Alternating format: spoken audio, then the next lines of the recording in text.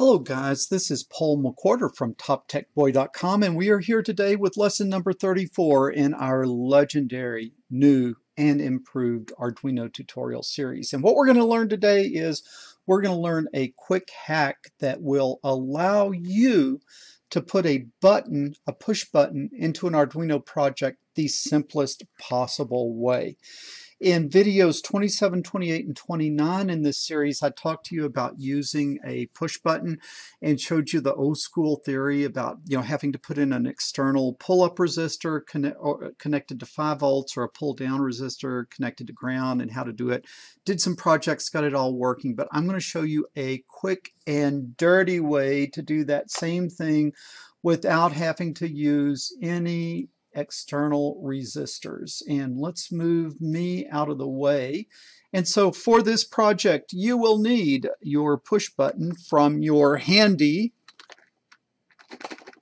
Elegoo Super Starter Kit. Okay, if you don't have one yet, click the uh, link down in the description. 35 bucks, you get all the parts that we use in this series. Also, of course, you will need some coffee. Iced coffee towards the end of the day, it is gone. So my video making will come to an end today because I am out of coffee. Coffee is the elixir that fuels this creative genius that you know as toptechboy.com. All right, so to do this switch, uh, let me zoom in some. And then, of course, we are going to have to wait for this thing to focus which it takes a little while. But I got a new document camera, and the problem is it takes a little while to focus, but it does give a much better image than my old one. All right, hooking this thing up, I'm going to show you how to do this without having to use any external pull-up or pull-down resistors. The main thing on this switch is do you see these leads that are pointing towards each other? It's like they're curved towards each other those leads that are curved towards each other are already hooked together. So they need to go in a common column because the columns are hooked together. So if you put those that are curved together in a common column, then these other pins, and the, these, these Elegoo uh, switches fit into a breadboard better than most, but they still require a little bit of fussing with them to get them to go. All right, so I now have the switch in there and the push button, and I will come from one pin, all right, and I will go to pin 2. Uh, I, cannot, I, I am going to zoom out a little bit so you can see both things that I am doing. We will allow it to focus and I lied. I've got to zoom out a little bit more.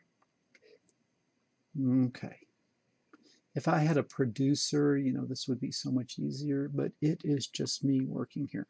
Okay, so you can see that I go from one leg of the switch to pin 2, and then, of course, the other leg of the button, we will go to ground. All right. No magic no pull up, no pull down resistor. Okay, this is the way that you make it work in the code. So let me come over here to the code view, which I think, uh, let's see, no, that's not very, that's, that's kind of a lame shot there. Let me come to this one. Okay, yeah, I really don't like that one either. Let me come to this one. All right, this is a great view. and if I'd been more professional, I would have taken out this nonsense before and start with an empty one. Okay, but you can kind of figure out I practiced this before I do the video, so I've already written the program once. So how do we use this button as a push button on our project? Well, what we start with is, I need that thing to go down in there. I think I am sorry, I've got to get these pins where it goes down in there really good or I'm going to drive myself crazy. Fearing that it is not going to work. So let me get that plugged in where it really stays all the way down there. Ah, that is in there good now. Okay, so what do we need for a push button? Well, we need a we need a int, and let's just call it but pin. pin no, let's call it button button pin, and that is in where? That's in pin two, as we said. Then let's go int, and then I'm going to need a button value, button value, and I'm not going to put anything in there because that is uh, going to be what I'm going to read. Now this is where the magic is going to happen. I am going to do a pin mode, pin mode of button pin, and I'm going to do, as you could imagine, input. No surprises there, right? No surprises there because I'm going to be reading from it. Here is where the magic happens. Digital write. Okay, I am writing to an input pin. What kind of insanity is that? so I'm going to digital write to a button pin. And what am I going to make it? High. So think about what this is doing. Doing the pin mode as an input, I'm bringing internally on that chip, I'm bringing internally into the circuit a pull-up resistor.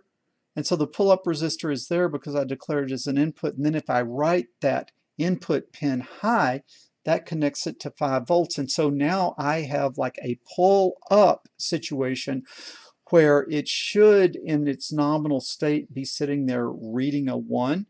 And then when I press the button, that'll connect it directly to ground and I'll read a zero. So I will have a very, very stable operation by taking advantage of the internal pull-up resistor and not having to furnish one myself if all goes according to plan. So I do a digital write button pin high.